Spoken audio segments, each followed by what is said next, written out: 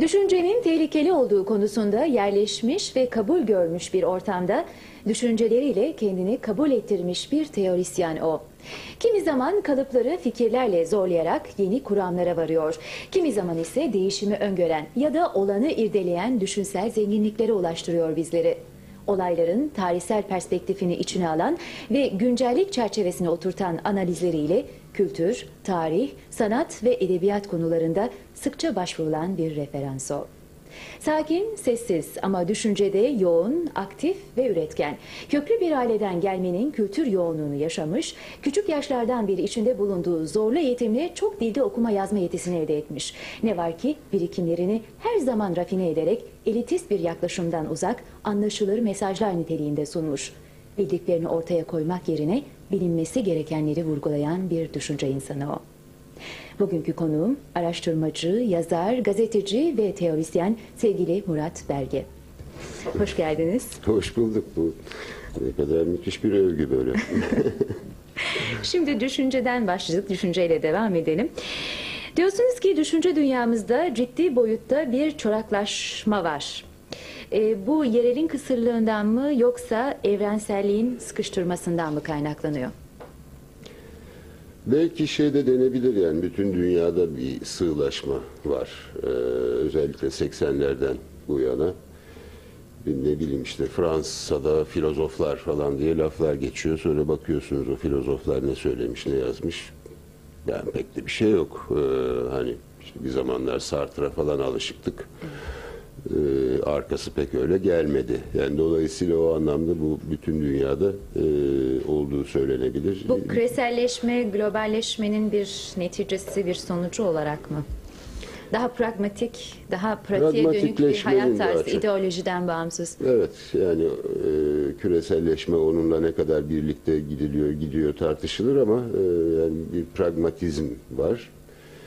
E, ve bunun tabii sonuçları Türkiye'de de yaşanıyor. Ama şimdi Türkiye'deki durum biraz değişik e, ya batıyla kıyaslarsak kendimizi. Şimdi ne bileyim mesela basının yüzeyselleşmesi gibi bir şeyi gene bütün dünya için söyleyebiliriz. Ama işte İngiltere'yi alın, Fransa'yı alın. Bunlar 18. yüzyılda işte haftalık dergiler, şunlar, bunlar bir sürü gazete çıkarmışlar, bir kamuoyu oluşturmuşlar. Ee, ancak o geçmişten ve o birikimden sonra bu audiovizüele, e, işte sabun köpüğüne dönülmüş. Ee, bu etkili olmuş E, ama yani ortadan kalkmayacak bir koca birikim de hala var orada. Yani Türkiye için çağ atladı derken gerçek anlamda o endüstri devrimini, o çağı yaşamadan Evet. bilgi çağına geçmek durumunda kaldı. Evet, o evet. çağı yaşamamış olduğu için bilgi çağına ne oranda adapte edebilecek Türkiye kendini? Evet yani Türkiye çok şeydir yani gelişmesi biraz seksek oyunu e, devamlı atlayarak e, işte yani sanayi devrini yaşamadan başka bir şey olmuştur. E, gerçekten üretken olmadan işte tüketici olmuştur. Mesela şimdi tüketim toplumu falan diyoruz. Hiçbir zaman refah toplumu olmadan tüketim toplumu olmuştur ve tabii bütün bunların da e, zorunlu sancılarını yaşaya yaşaya Geçiş, gidiyor. geçiş toplumu dendiği zaman siz farklı anlamlar da yüklüyorsunuz o tanıma. Ben geçemeyiş toplumu diyorum daha çok. Çünkü bir yerden bir yere geçtiğimizi daha çok fazla görmüş değilim. Bir yerden bir yere geçmek için bir yere varma amacıyla geçiş Evet. gerçekleşirken Türkiye'de öyle bir amaç herhalde pek söz Evet konusu değil. biraz şey yani dalgaların itişiyle falan filan yani çok şey kendi iradesini toplayıp işte kendine bir uzun vadeli plan yapıp e, ona göre işte gücünü seferber eden falan bir toplum değil. Tabii bunları söylerken de biraz da korkuyorum ama yanlış anlaşılmasın diye. Yani böyle bir topyekun işte bütün milletçe tek bir hedefe yönelik öyle bir şeyler söylemek istemiyorum tabii. Yani her zaman toplumda çeşitlilik olacaktır, olmalıdır her konuda farklı görüş olacaktır falan ama bütün bunların gene bir orkestrasyonu diye bir şey söz konusu ki o e, orkestrasyon pek olamıyor. Şimdi bunun olmaması ve sizin deyiminizle e, düşüncede çorak, çorak bir toplum olmamız aslında Türkiye söz konusu olduğu zaman e, pek de kabul edilmemesi gereken e, bir durum. Çünkü Türkiye gerek tarihi gerek kültür açısından çok derin, çok yoğun e, bir toplum. E, bunda tarih anlayışımızın, tarihi kavramları değerlendirişimizin etkisi var mı? Valla tarihle ilişkimizin sanıyorum var bir şeyi. Ee, bununla ilgisi. Ee, tarihte meşhur hikayedir işte Tarık bin Ziyad e, Cebeli Tarık'a adını veren İspanya'ya geçer. E, adamları da oradan geri dönme ümidi beslemesin diye gemilerini yakarak e, İspanya'ya ayak basar. Bizim de tarihle böyle biraz gemileri yakma ilişkimiz var. Öyle olunca da e, yani hakikaten işte geçmişimizin önemli bir kısmını adeta yokmuş Yok gibi bir hale getiriyoruz. O zaman o dediğiniz zenginliğin epeycesi oralarda bir yerde gemilerin artık dönmediği bir yerde kalıyor ve geldiğimiz yerde öyle çok e, ille de mümbit e, yemyeşil falan bir yer olmayabilir. Biraz biraz şey derim ben hep buna. E, şimdi bakın Türkiye'de düşünce hayatını kimler kurmuş, oluşturmuş? Modern çağda yaşadığımız çağda diye düşünürseniz bir takım isimler gelir akla. Mesela bunlar bulundukları alanın e, zirveleridir. E, ve o anlamda aşılmamışlardır. Mesela örneğin belki şeyden Fuat Köprülü'den e, birçok bakımlardan daha iyi tarihçiler çıkmış olabilir ama yani Türkiye Cumhuriyeti'nde e, tarih yazımı, historiografiyi kurmuş adamdır. O bakımdan aşılmamıştır. Ki o dönemin bilimsellik ve düşünce yapısı çok daha primitif bir anlayış için. Evet öyle olduğu halde e, işte bilmem beğenirsiniz beğenmezsiniz fikirlerini Ziya Gökalp deyince bu bir şeydir bir, bir zirvedir. Şevket Süreyya Aydemir öyledir vesaire Ahmet Hamdi Başar öyledir Ahmet Hamdi Tanpınar öyledir. E, işte Nedir bu adamların ortak tarafı filan diye baktığınızda bunlar aşağı yukarı Cumhuriyet'in kurulduğu sıralarda şöyle bir 20 yaşlarına falan gelmiş en gençleri. Bir kısmı daha da e, önceden. Yani bir imparatorluğun işte dağılmasının hissedildiği, herkesin buna bir çare aradığı, dolayısıyla kendini zorladığı falan bir dönemde yetişmiş aydınlardır ki daha sonra Cumhuriyet'te de bir şey olmuştur. İşte Türkiye entelektüel hayatının e, böyle nirengi noktaları olarak e, bir yerleri doldurmuşlardır. Çünkü o bir kültür zenginliğine dayanıyordu. E, bir sürü bakımdan bir faciaydı, bir çöküştü, şuydu buydu ama arkasında bir kültür birikimi vardı. Cumhuriyetle biz kültürü zayıf, ideolojisi kuvvetli. Yani Türkiye tarihi girdik. acaba siyasi konjonktüre mi endekslendi ve resmi tarihle mi sınırlandırıldı? Evet, yani büyük ölçüde öyle oldu ve bir resmi ideoloji kuvvetle insanlara verilmeye başlandı. Ee, yani Cumhuriyet'in yetiştirdiği yine bir sürü iyi aydın var, yazar var falan filan var ama e, o aynı kalibrede e, insanlar yetişmedi. Şimdi isim söylemeyeyim. Ee, Şimdi bir başka problem de yine tarihle ilgili e, hep resmi tarih ama onun- onun ötesinde tarihi beşerileştiren, insani boyutunu ortaya koyan eserler yok E, ya da çok az e, parmak parmakla sayılacak kadar az. E, şimdi örneğin sizin bu kitabınızın belki de en hoş yanı e, sadece e, Boğaz içinde e, ki yalıları anlatan bir kitap değil, tarih kitap değil. Onların mimari güzelliklerini anlatan bir kitap olmanın ötesinde o yalılarda yaşayan insanlar, onların hayatları, onların hayalleri, ideoloji, hırsları e, onları da konu alan bir kitap. E, bu konuda zorlanmadınız mı? Çünkü bizde e, insana dönük bilgiler, tarihi bilgiler yok denecek kadar azdır. Bunları nasıl toparlayabildiniz? E, haklısınız. Zaten ön sözlü de değiniyorum ben o tür zorluklara. Biyografi Evet. alışkanlığı hiç oluşmamış, otobiyografi e, belki bir anlamda hani anılar falan onları da otobiyografiye alırsak e, orada bir zenginlik var gibi görünüyor ama e, ben tabii bir sürü anı okumak zorunda olan bir insanım. İşte tarihle de fazla ilgim olduğu için e, bakıyorsunuz 300 sayfa falancanın anılarını e, okuyup bitirdiğinizde aslında o e, bilmem kaçıncı sayfadaki iki paragraf için yazılmış. E, çünkü Ahmet ona bilmem ne demiş kendi anılarında. E, o da bir sürü hikayeyi filan da anlattıktan sonra ona cevabını orada Cevabını. veriyor falan filan. Yani çok şey değil. E, o anlamda güvenilir değil.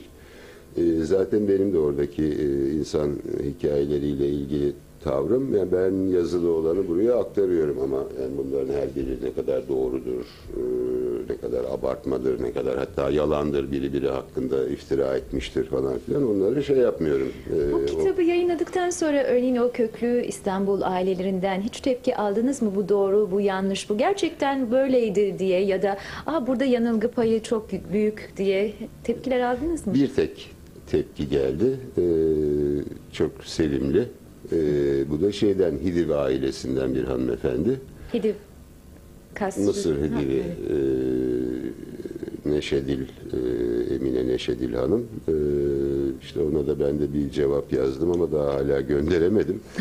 E, orada o bazı yanlışları şey yapıyor, düzeltiyor. Özellikle bir e, yanlış bir fotoğraf var. E, onu da çok hoş düzeltmiş. E, benim büyük annem öyle edepsiz oturuşlu bir kadın değildi Çok güzel. demiş. Ee, onun dışında böyle bir tepki henüz gelmedi. Aslında fırsat bulsam, vakit bulsam, önce vakit her şeyden önce. Ee, ben gidip onların kapılarını çalabilsem de e, sorsam, morsam, işte anlattırsam e, biraz daha zenginleşir bu herhalde. Çünkü tarih Türkiye'de büyük ölçüde sözlü.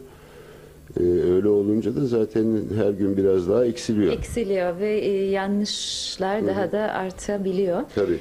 Şimdi bir başka kitabınıza geçmek istiyorum. Büyük bir keyifle okuduğum Tarihten Güncelliğe kitabı. E, genelde 1980 sonrası 80'li e, yılların e, Evet, çok konuşulan 70'lerin son yılları 70'lerin sonu 80'li yıllar 80'lerin çok başı. konuşulan e, kavramlar, e, popüler e, kültürü oluşturan olaylar e, ve olgular üzerine e, sosyolojik bir bakış açısıyla hem tarihi perspektifini verdiğiniz hem de o güncellik çerçevesine oturttuğunuz e, konularla dolu bir kitap bu. E, bu kitabın yine aynı e, tarzında bir başkasını e, 1990'lı yıllar için e, yazmayı düşünür müsünüz? Ah. Mesela örneğin bu kitapta e, henüz okumamış izleyicilerimiz için. Me- medya var, magazin var, pop kültür var, tatil nosyonu var, e, Doğu ve Batı arasında sıkışmış Türkiye var. Güncel e, yaşamı e, çok birebir içinde olan e, olgular ve dolayısıyla okunması da ilginç konular. Evet, e, valla şimdi zaman zaman yine böyle şeyler yazıyorum ama çok daha seyrek yazıyorum, onun farkındayım. E, hani işte Boğaziçi kitabı belki bu bu bakış açısının bu sefer daha eski bir döneme projeksiyonu gibi. E, şimdi siz söylediğiniz, sorduğunuzda e, düşünmeye, acaba 90'ların iklimi de ben biraz yabancılık mı çekiyorum? Yani şeyde 80'lerde tamam evet bunlar böyle çok şeydi yani e, hani avucumda hissediyordum filan. Şimdi galiba pek öyle hissetmiyorum ben. E, O neden? E, ya kısmen ben yaşlandım falan ama sade o da değil. E, yani bu dünya bana çok sevimli de gelmeyen bir şekilde değişti galiba. E, ve ya ne bileyim işte orada siyah Samsun'du bilmem neydi işte şey çocuk posteri bilmem ne. Yani bunlar e, eleştiri konusu olabilir bilmem ne olabilir ama hep böyle bir sonuçta bir taraflarından paylaştığımız ve bir, bir sevimlilik bulduğumuz bir dünyanın e, unsurları, mozaiğinin parçalarıydı. Oysa şimdi böyle e, işletme zımbırtısı bilmem ne diplomasıyla çıkmış e, bilmem ne türlü arabasında zart zart e, giden bu yırtıcı e, köpek balığı gibi şeylerden yaratıklarda ve aynı şeyi bulamıyorum. Ama işte bütün bunları, bu tanımları belki de ortaya koyacağınız, kağıda dökeceğiniz bir kitap olabilir. Olabilir evet. Düşüneyim bunu. Şimdi kendiniz için bir tür sosyalist Ahmet Mithadım misiniz? Ee, hep aydınlatmak adına mı yazıyorsunuz? Aa, yok şimdi o biraz şey değil mi? Küstahça da bir şey olur aydınlatacağız. Ee, paylaşmak benim derdim. Yani, belli onu bir misyonu yüklenmenin neticesinde mi bu söylediğim? Evet yani ama o nedir o, o misyon? İşte ben e, siz en başta da söylediğiniz aileden gelme işte falan filan diye. Evet yani Türkiye'de ayrıcalıklı sayılacak bir kesimden geliyorum. Hani bunda böyle bir ahlaki şey olarak söylemiyorum ama e, O ayrıcalık neyse işte yani ben de onu o doğrultuda elimden geldiği kadar çoğaltmaya çalıştım. Yani işte çok okudum falan filan. E böyle olunca da mesele bunu paylaşmak. Ee, herhalde içgüdüsel olarak bana hani meslek olarak en rahat seçebileceğim şey işte üniversite hocalığı gibi bir şey. Mesela lise hocalığı çok önemli bir şeydir falan ama onu ben pek yapamam. Çünkü o daha eğitmeye yönelik bir şey. Ben yani belirli bir eğitimi, bir formasyonu olan bir insanla e, bir takım fikirleri fikir paylaşmayı evet tercih. Yani çok şey değilim yani öyle e, ille eğiteceğim falan gibi yani böyle ruhumun derinliklerinden fışkıran bir zapt edilmez bir, bir şey yok yani. Şimdi üstü kapalı olarak hem e, köklü bir aileden geldiğinizi hem de iyi bir okuyucu olduğunuzu söylediniz. Ben onu biraz açmak istiyorum. Siz gerçekten çok sıkı bir okuyucusunuz. Özellikle annenizin çok kitap okuması sizi etkiliyor. E, daha hazırlık sınıfında ortaokula başlamadan Agatha Siz Christie her şeyi biliyorsunuz, e, birçok polis e, siyer roman okuyorsunuz. Sonra e, henüz orta 2'de Tolstoy, Dostoyevski hem de İngilizcelerini okuyup bitiriyorsunuz. E, ve onun ötesinde ailenizde babanızın Burhan Belge olması, işte dayınızın Yakup Kadri olması o kültür e, yoğunluğunu beraberinde getiriyor. Ama sizin elitist bir tavrınız hiçbir zaman e, gözlemlenmedi. E, bu, bu neyin sonucuydu? Bir anlamda e, bir tepki miydi e, yoksa bir e, suçluluk duygusu muydu?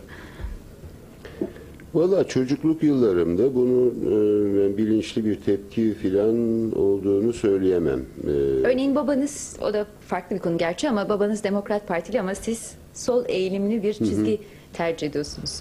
Evet e, ama babam da gençliğimde işte soldaydı sonra e, gittikçe sağa doğru kaydı. E, o kuşağın şeyi fikri macerası ilginçtir. Yani onu uzun uzun bir başka şeyde konuşmak lazım. Aslında babamda da e, Demokrat Parti çizgisinde hep olan bir popülizm vardır. E, hem babam da ona çok e, uzak değildi. E, herkesle rahat ilişki kurardı falan. Bir de aradan bunca yıl sonra e, insan çok şeyi unutuyor yahut e, farkında olmadan değiştiriyor da. E, ama yani hemen şu anda içtenlikle bunun ne kadar tam doğruyu yansıttığını bilemeden söyleyeceğim. Ne bileyim küçük yaşta bir babam da Ankara'da kalırken diyelim ayakkabı boyacısı gelir.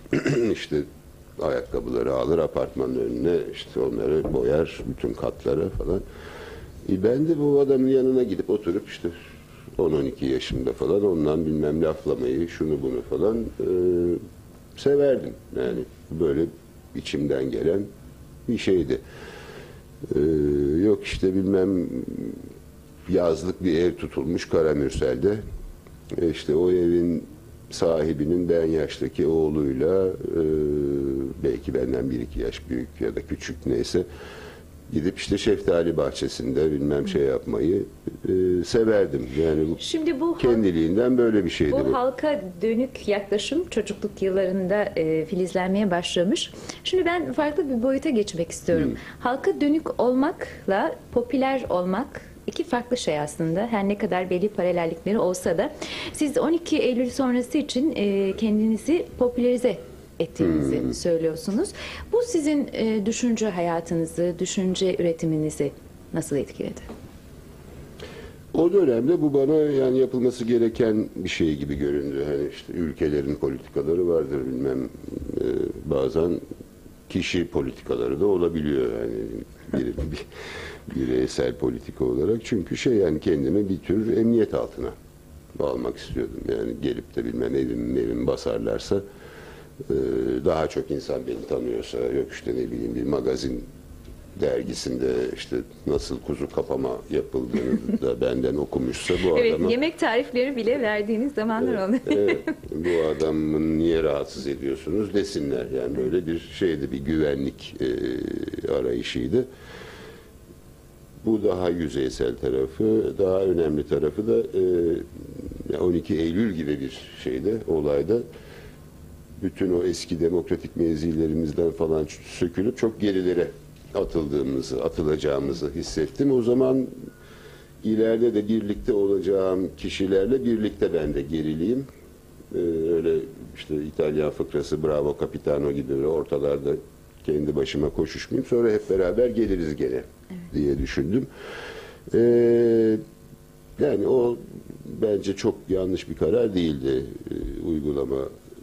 Ama tabii başıma çok şey getirdi yani e, yani kendime kalan zamanı azaltması vesaire falan gibi.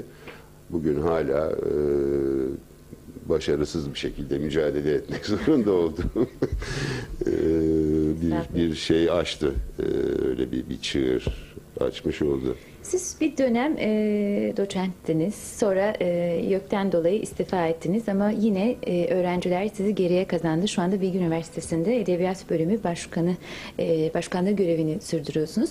Bugün öğrencilerinize baktığınız zaman e, nasıl bir mozaik görüyorsunuz ve bu mozaiğin renkleri neden canlı? Ee, şimdi burada bazı şeylerim var, ee, dezavantajlarım var bunu cevap vermekte. Çünkü benim bölümümde henüz çok az öğrenci var. Ee, bunun değişeceğini umuyorum ve tahmin ediyorum. Ee, ama yani böyle üç kişilik, beş kişilik sınıflar durumundayız henüz. E, bu tabii bir şeyi vermiyor yani böyle bir üç, üç parçalı mozaik olamayacağı gibi. Gerçi e, verdiğim derslerden birisine birinci sınıf dersi başka bölümlerden de teşvik ediyorlar. Bu Batı Medeniyeti Tarihi diye bir ders. Dolayısıyla orada e, daha kalabalık e, insan Özellikle şu görüyorum. açıdan yani bugünün gençliğinin çok apolitik olduğu, e, sorgulayan beyinlerin çok fazla rastlanar e, bir durum olmadığı gençler söz konusu olduğunda çok tartışılan bir e, nokta. Özellikle yetişkinler ve belli ideolojik dönemleri tecrübe etmiş kişiler tarafından. Evet, bunlar bence çok fazla temeli olmayan genellemeler. Yani şimdi birkaç yıllık bir özel üniversite, o da gene şey e, daha spesifikleştiriyor durumu.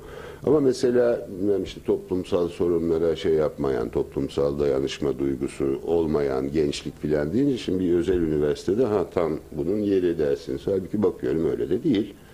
Yani öyle olanlar da var mutlaka ama öyle olmayanlar da var. Ee, bayağı her şeyi ciddiye alan, çalışkan insanlar, öğrenmeye niyetli insanlar. Ee, şeyden bir, bir yoksulluk var yani. Türkiye'nin okuyan insanlar için hazırladığı ortamdaki son derece ciddi yetersizliklerin sonuçlarını görmeniz mümkün. Ama çocuklar takım bireyler olarak hiç öyle şey değiller. Tın tın bilmem ne falan denecek gibi değiller yani. Sevilen bir hocasınız tahmin ediyorum. E. Gençlere olan güveninizden dolayı. Şimdi e, siz yurt dışına çok sık gidip gelen bir insansınız ve Türkiye'nin siyasi e, ve ekonomik tablosunu yurt dışından gözlemleyip çok objektif değerlendirmeler yapan bir e, düşünce insanısınız. Son olarak e, Avrupa Birliği ile ilgili e, bir sorum var. Avrupa Birliği resmi olarak e, Türkiye'yi e, o ilk 11 ülke arasına sokmadı. Ama bundan sonrası için e, Avrupa Birliği söz konusu olduğunda Türkiye'nin e, bu birliğe girme ihtimali nedenli fazla ve bunu resmi e, tanınmanın ötesinde Türkiye gerek demokratik ilkeler gerek hak hukuk kavramı gerek e, toplumun yaşam düzeyi e, din ve e, kültür boyutunda e, Avrupa'nın bir parçası olarak mı gözlemleniyor Avrupa tarafından ve siz bunu nasıl değerlendiriyorsunuz? E, tabii bir soru, iç içe soru bu. Ee, Ve kısaca. Ee, şimdi ilk şunu söyleyeyim. Ee, işte Lüksemburg'da şöyle yaptılar. işte onlar Türk düşmanıdır falan. Bunlar büyük ölçüde palavra. Tamam var yani sade Türkiye ile ilgili değil e, Avrupalılığı oldukça dar tanımlamak isteyen, bunun genişlemesinden de hoşlanmayan muhafazakar kesimler elbette var Avrupa'da ama Türkiye'ye karşı bu tavırların bu şekilde gelişmesinde şimdiye kadar olduğu gibi bundan sonra da e, birinci derecede sorumlu Türkiye'dir. Yani Türkiye bu kararı verir ve ama ciddi olarak verir. Ondan sonra da bu kararın gereklerini yerine getirmek üzere adımlar atmaya başlarsa bu yol açıktır. Bunu kimse kapatamaz. Bunu Türkiye yaptığı zaman Avrupa'da da kucak açacak birçok kişi vardı. Çünkü sizin sorunuzun içinde olduğu gibi Türkiye'yi Avrupa'nın parçası kabul eden e, bir sürü insan var. En azından gayri Avrupa'da. resmi alanda Tabii, tabii. Ee, ama Türkiye ne kadar Avrupalı? Bence çok Avrupalı değil. Ama Türkiye'nin özelliği bir kere her şeyi içeren bir karmaşık ve zengin bir toplum olması. Ayrıca Avrupa'nın e, dışı açılmasında da Avrupa'ya ile başka Avrupalar mı lazım?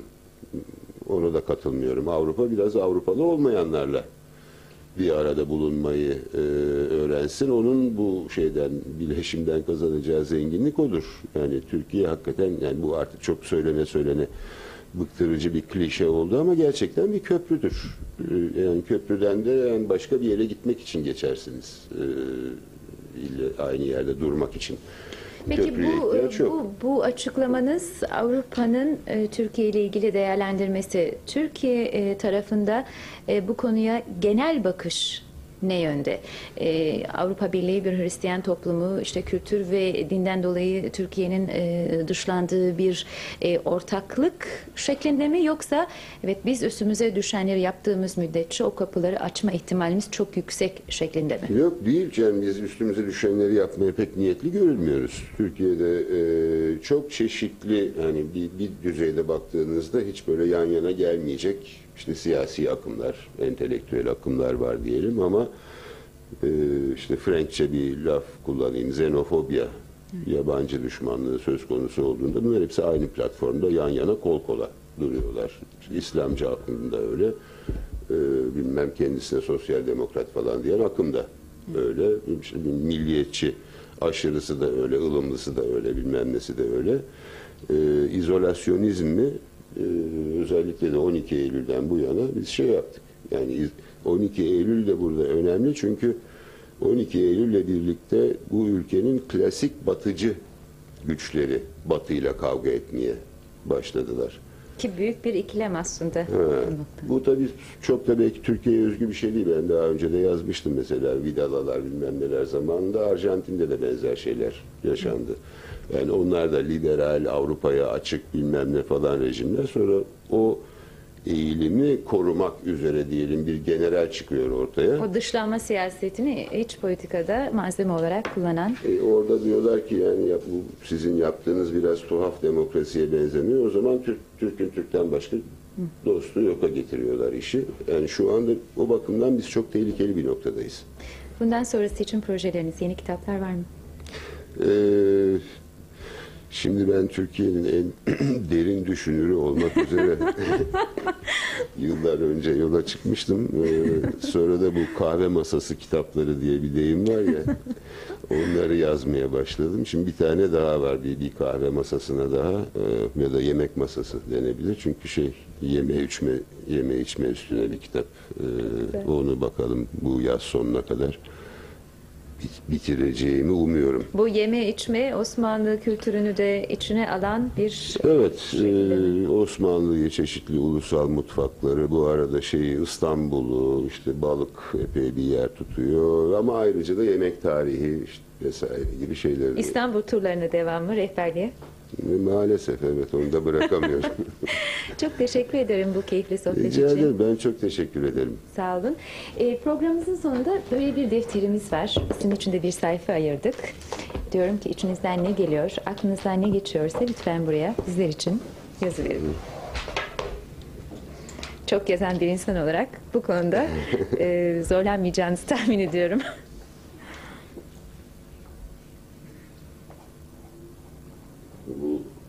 Bu da seyircilere bir